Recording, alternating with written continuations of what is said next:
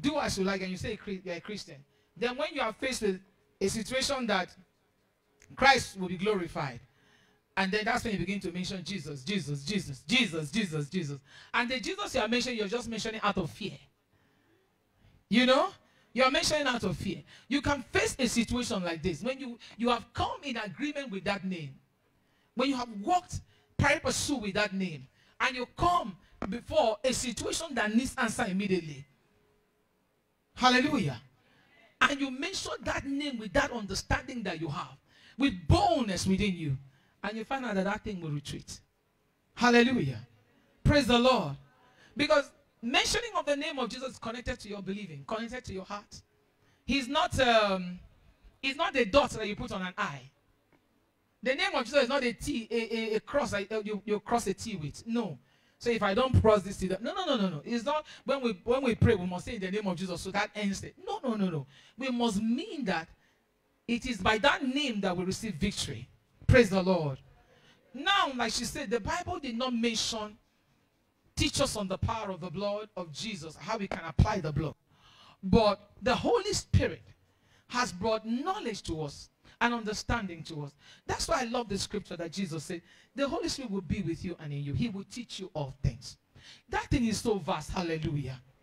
He will teach you all things. Now the Holy Spirit begins to enlighten our minds through the Old Script, the Old Testament, into the New Testament, letting us know that there is power in the blood. And there's power. If there was power in the blood of bulls, if there was power in the blood of sheep and lambs, how much more the power in the blood of Jesus Christ? Power of the blood of Jesus Christ. Praise the Lord.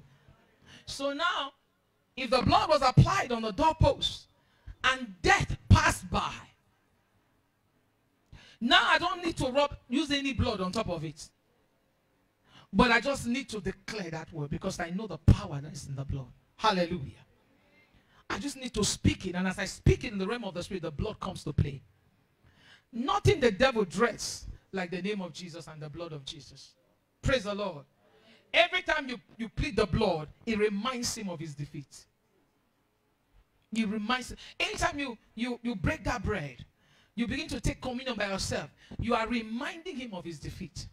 You are telling because the Bible says in that scripture, it says, it says, this is the, the, the this is my blood, which is shed for you. He did not tell us that this is the blood of Jesus, which was shed for us. That's um, 1 Corinthians 11, right? 20, 24, 26 down. This is my blood. When Jesus was drinking, was having his last supper with his, with his disciples, he didn't say, this is my blood, which will be shed for you. No. Jesus said, this is my blood, Jesus did not cut his body and put inside one container and say, let's drink. No, he didn't do that. The Bible says it was the fruit of the vine. Hallelujah. The choices of the fruit of the vine, but was the wine. And when he lifted the cup up, he said, first it was, it was bread. He didn't cut his flesh and say, let us share it and chop. No, no, no, no. He took bread, unleavened bread, and he said, this is my body he didn't say which will be broken for you. No. He said which is broken for you. Today as you do this with me. Hallelujah. He took the cup again and he said the same thing. This is my blood. It wasn't blood from his body. But you see, faith is beyond the natural. Hallelujah. What you say, you get. What you say in faith happens in the realm of the spirit. That's why you don't talk anyhow when it comes to the things of God. So Jesus said, This is my blood, which is shed. He had not gone to the cross. He was about to go to the cross. This is my blood, which is shed for you, for the remission of your sin. He said, Do this, and as often as you do this, you do show the Lord's death. That is the love for the Holy Spirit to break down for us. Praise the Lord. So when I take that cup, I might put Fanta. One thing I might not use is Coke. I might put Fanta. I might use Ribena. I might use any kind of wine that is clean. As I put it in that cup, it be automatically becomes the blood. Praise the Lord. Because Jesus did not cut his flesh and put inside there. So I do it as you do this in remembrance of me, as often as you do this. So every time I take that cup, I put it is on the prayer table. The bread is on the prayer table. Every time I put it, and I begin, to, I lift it up. I take the body, I lift it up. I said, This is the body of Christ. Which is, which I didn't say which was. You can't say was because Jesus didn't use the word was. Neither did Paul apostle use the word was. Praise the Lord. This is means that every time that you take that cup, any time that you take that bread, it is happening now. Hallelujah. The sacrifice happens there. Anytime you do it is now. Is is now. Praise the Lord. And the Bible says faith is what now. Hallelujah. So anytime I take that bread, it is now. I, I, I reignite the covenant immediately. I bring it to, I bring Calvary to my room. Hallelujah. I bring Calvary to my prayer room immediately. And I tell the devil, you can't touch, you can't steal, you can't kill. Hallelujah. Because this blood stands against you. And the Bible says the blood of Jesus speaketh better things. What does it speak? It doesn't call for vengeance anymore. The blood of Abel called out for vengeance. Why? Avenge me, Lord. My brother killed me. Avenge my life. Cain killed me. So that's that's what the blood of Abel was crying and for vengeance that he was wrongfully murdered, wrongfully killed. So his brother Cain must suffer for it. Praise the Lord. But it tells us the blood of Jesus has no reason to cry for vengeance. Who is going to revenge Jesus? He came for this purpose and he died for this purpose. And for this cause he was raised from the dead. Praise the Lord. But what is he? Hallelujah. That his death came through. Hallelujah. So at the end of the day, when when when that oh God Almighty, when he says he speaks better things, it means that the blood of Jesus speaks goodness in my life. It speaks health, speaks life, it speaks prosperity, it speaks everything that is good. Hallelujah. And just like she said, he speaks vengeance against my enemies. Hallelujah. He will deal with my enemy, but Jesus himself was not crying out for vengeance. But vengeance for what? For this purpose I was created, I was born. Hallelujah. So I'm not asking for vengeance on my life. Hallelujah. But anyone who touches one of these, anyone who touches one of these, I will not take it lightly. Hallelujah. Praise the Lord. There is there is so much I can talk to you about the blood of Jesus. Because me, I've experienced it. I came from a ministry where we didn't mention the blood. It was like, why would you do that? It's out of context. Just use the name of Jesus. Then one day, a few years, some years ago, I had a terrible dream, terrible dream, a terrible dream. I was in a terrible dream. I was on the street, and a, an elderly woman accosted me. I knew she was a priestess from somewhere. I knew she was a priestess from somewhere, from but the, of the land here, because our language was of this land. Then she accosted me on the road, and as she was coming to me, the wind from her body was too strong. The wind was blowing me. I was saying, Jesus, Jesus. What I'm about to say is not that the name of Jesus, the name of Jesus is the most powerful. But there are situations that need the blood application. Do you get it now?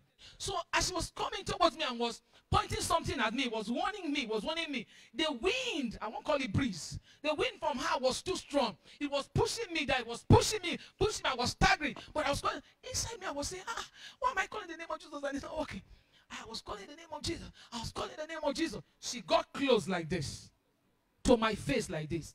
Then I just said, it just came out of me. I didn't think it. The blood of Jesus. The blood of Jesus. She staggered back. And as I saw she staggered back, I kept saying the blood of Jesus. Then she fell to the ground. Praise the Lord. That's my own revelation. So nobody can tell me otherwise. Hallelujah. Hallelujah. And I've had, I've said here with you, when I had the same, they attack me all of the time. I had the same similar situation. A woman again, an elderly woman again. She came to attack me. And then I was saying, in Jesus' name, in, I'm teaching, I want to teach two, two different things. In Jesus' name, in the name of Jesus, in the name of Jesus. And she will not just budge.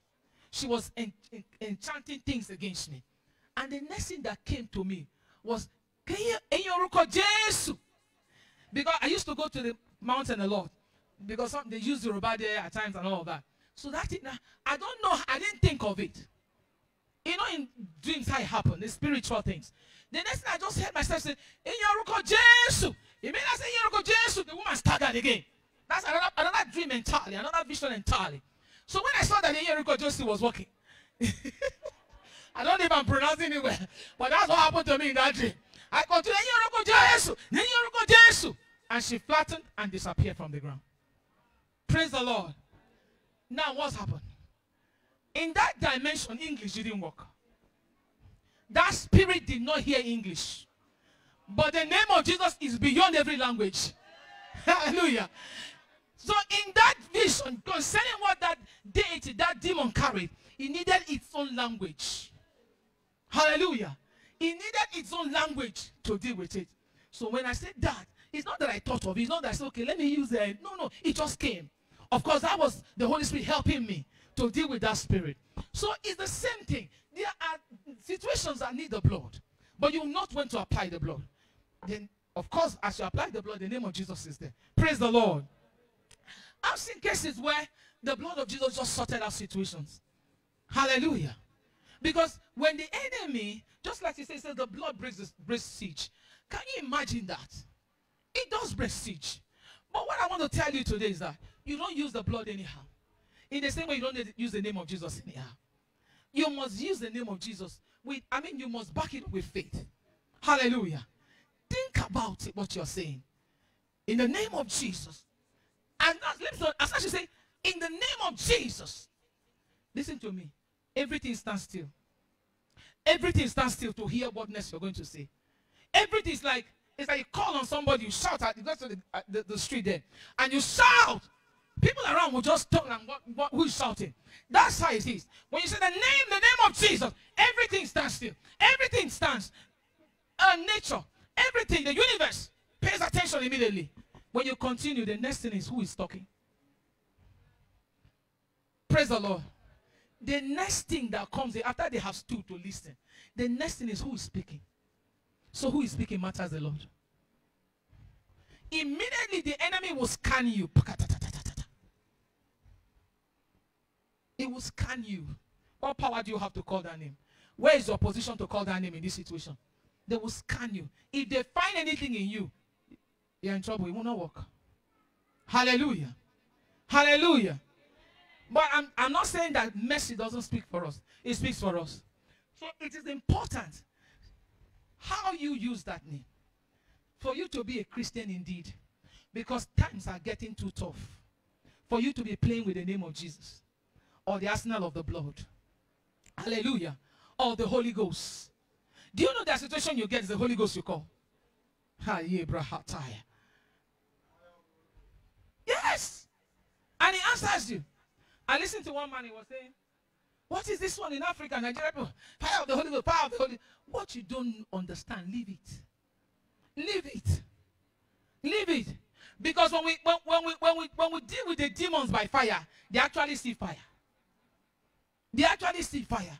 You hear a demon saying, Stop the fire! Stop the fire! No, no, no, the fire is burning me. What is that? You can't argue things like that. You can't argue things like that. Praise the Lord. So we have too many arsenals to use anyhow. Too many weapons in the spirit to use anyhow. You must be careful. I want, there's a scripture she read. I want to round up with that scripture to show you what I'm saying that if you call the name of Jesus in vain, it will not work. Even when God, when you know that you have quoted the scriptures and you, you are sure that you have that victory, see, when you're faced with the real devil, when you're faced with the real devil, that word that is not rooted in your spirit that you spoke will not sustain. Hallelujah. That word that is not rooted in your spirit that you just will not sustain. When you, you are faced with the real devils. Now look at this guy she read in uh, Second Kings. Take that Second Kings chapter 3 and go and study it. Just write it down. Study the whole Second Kings chapter 3. She talked about the, weak, the, the, the hidden king that slaughtered his son and the, the, the battle turned against the Israelite, the children of God. Praise the Lord. He slaughtered his son in the midst of fierce battle. And the battle changed. And the Israelites ran away. Israelites that were winning ran away. Why? Power. Blood of different dimensions carry different power to the one who sacrifices, to the one who does that. Praise the Lord. This king was a hidden king, an idol worshiper. But I want to show you something. If you can just open with me to that first, Second Kings. No, Second Kings. Ahab's son. I'm reading from NLT. Ahab's son, Joram, began to rule over Israel in the 18th year of King Jehoshaphat's reign in Judah.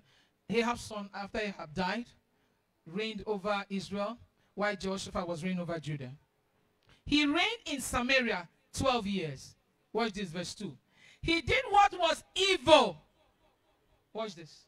He did what was evil in the Lord's sight, but not to the same extent of his father and his mother. His father and mother were who? Ab- Jezebel and Ahab. Their own was too much. This is their son. He did evil, but not to the extent of his father and mother. But watch this.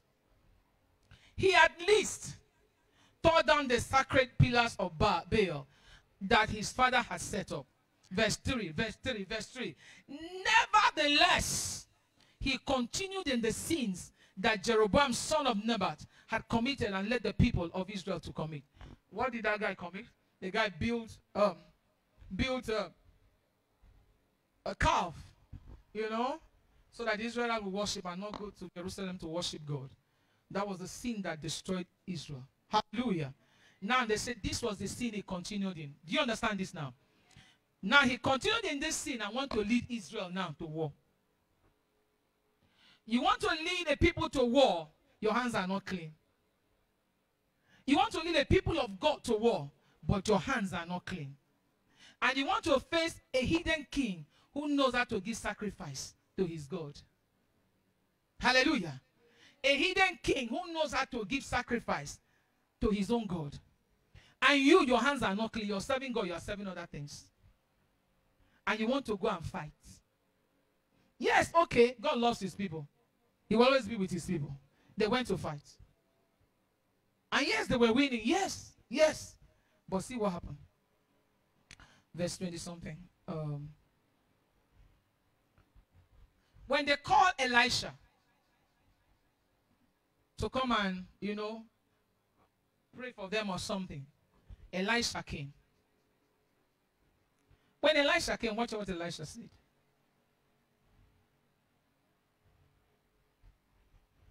In verse 13 first.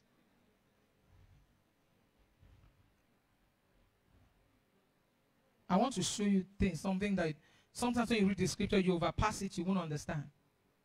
And you say, but why, why did God do this? What happened? Why would God allow a hidden king to win? Verse 13, he says, there's another verse. Yes, the Lord speaks. Son of Jehoshaphat.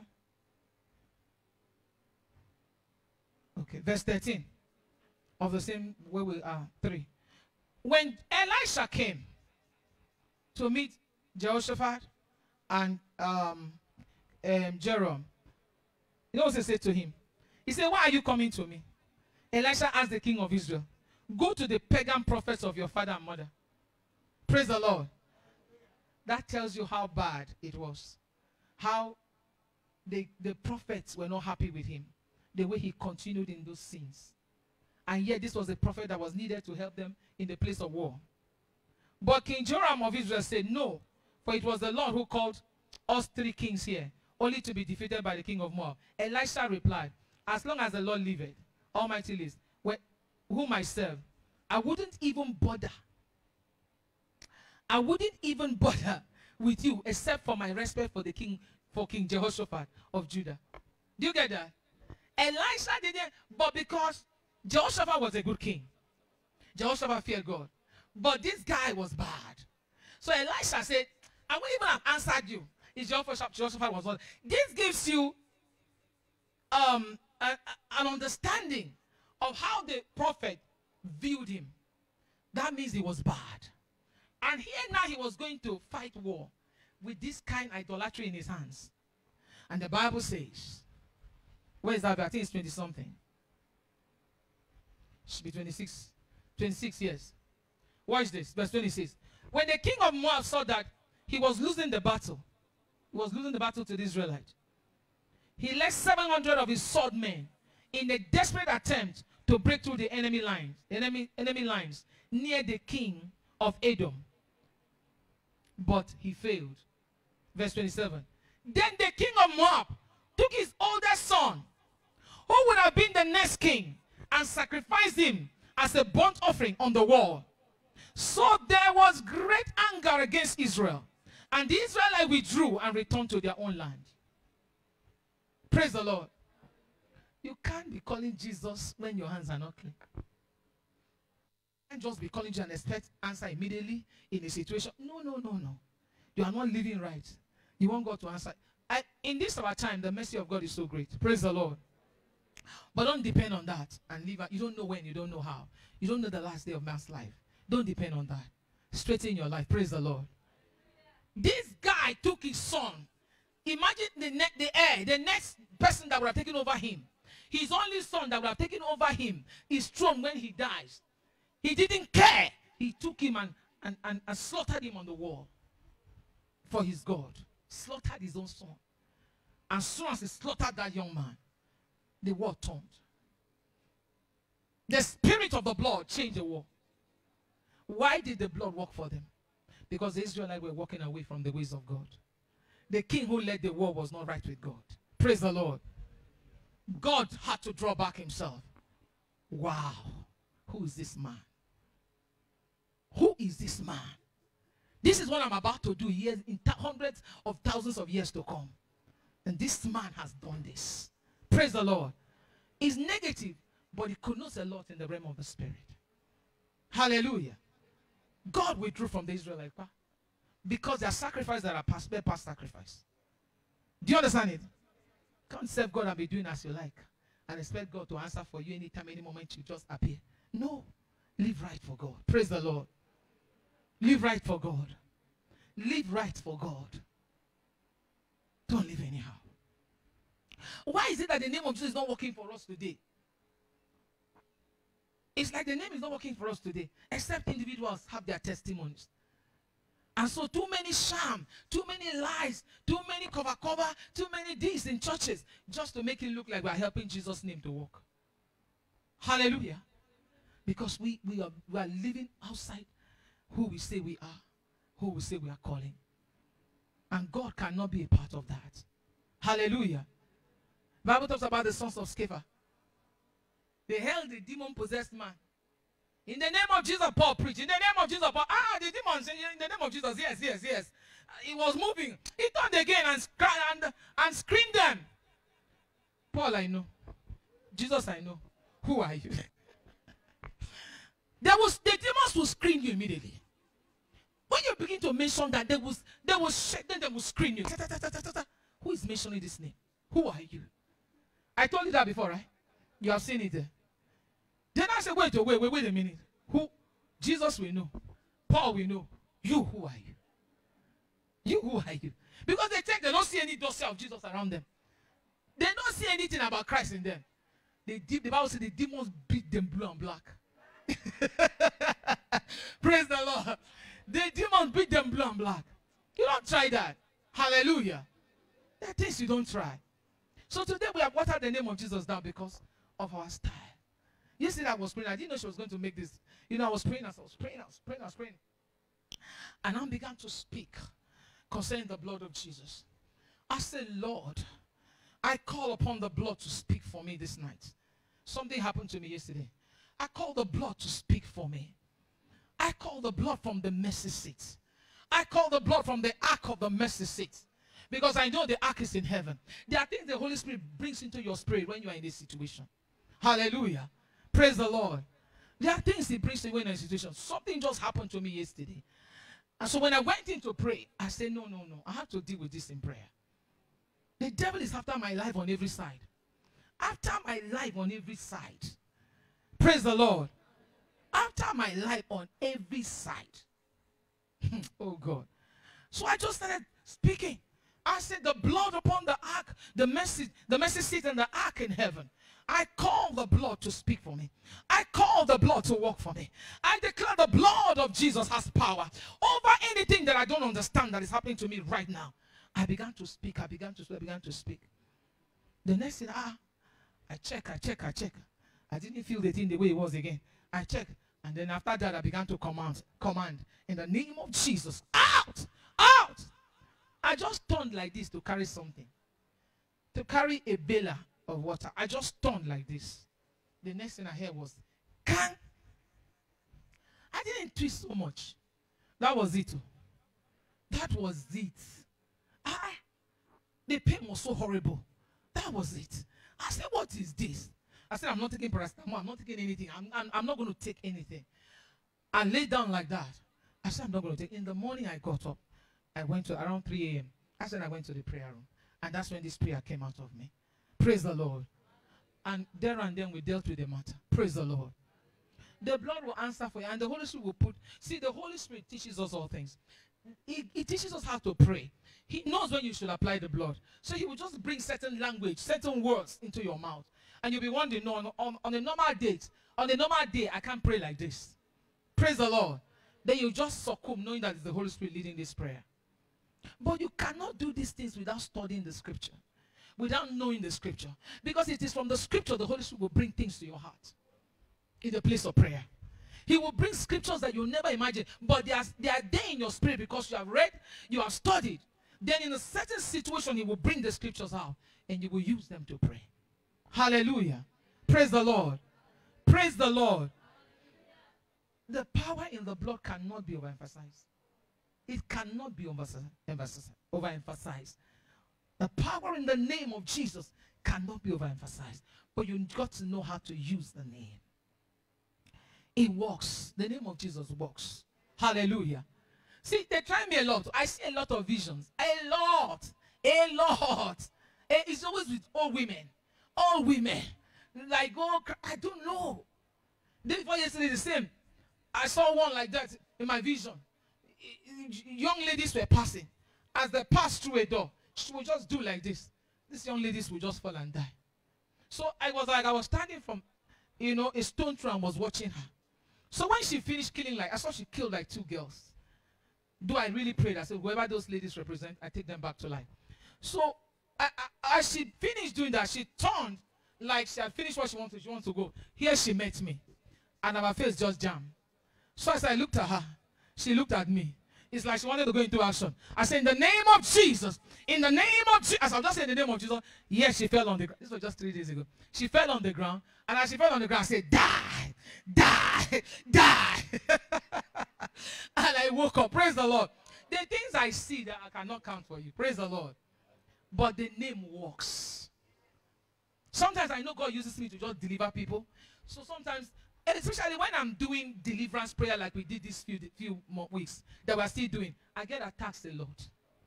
I get attacked a lot. And I know it when I come and I see how things are happening. I know it. But sometimes the people I'm praying for don't even understand. You know, they don't even know. You know, sometimes you negate all these things without knowing. But I know what comes back to me. And only Jesus helps me. Hallelujah. Don't take the name of Jesus for granted. There is power in that name. There is power in that name. If you like, say, Lord, show me the power in the name of Jesus. Pray sincerely from your heart. You will see a vision. You will see you use the name of Jesus. You see what happened. Talk about the blood, the same thing. Say, Lord, show me the power in the blood. Go to sleep. One day, one day, God will show you. You will be, you will wake up shocked. Hallelujah. Praise the Lord. There is nothing that the name of Jesus, the as the weapons that God has given us cannot do. Hallelujah. Look at all the scriptures you read. Look at all the scriptures you read. All of the scriptures. We have been brought in by the blood. We have been brought in by the blood. Hallelujah. There's a song that says, The blood washed us, bought by the blood, washed by the blood. That is too deep. Hallelujah. The ordinary mind, see, if you are not in a deli- if you don't have a deliverance understanding, you will castigate everything that you see. You won't understand. But I found out that there are people that got called and gives you understanding in that dimension. Praise the Lord. There are pastors that will not dare say in the name of Jesus, I cast out demon. They don't know they are not called. They tell you I'm not called, please. I give you the word, hold the word. I'm not called to cast out no demon. And all praise the Lord. There are a lot of pastors that only tells the word. When you reach for anything, they'll tell you say, ah, go to hospital, Pray. If it doesn't work, maybe you look for a deliverance minister. But me, I'm not cut out for that. Praise the Lord. Because they don't want wahala. Because the wahala is serious. If God didn't call you there and just giving you the strength in that dimension, you go there, you're in trouble. You want to imitate somebody, you're in trouble. Praise the Lord. Hallelujah. Thank you, Jesus. Have you been blessed? You're going to sit back and meditate on the blood. Meditate again on the name of Jesus. Meditate on that name. There is power in the name and in the blood of Jesus. That power never wears out. We are the ones who don't understand the power that is there that makes us call the name and it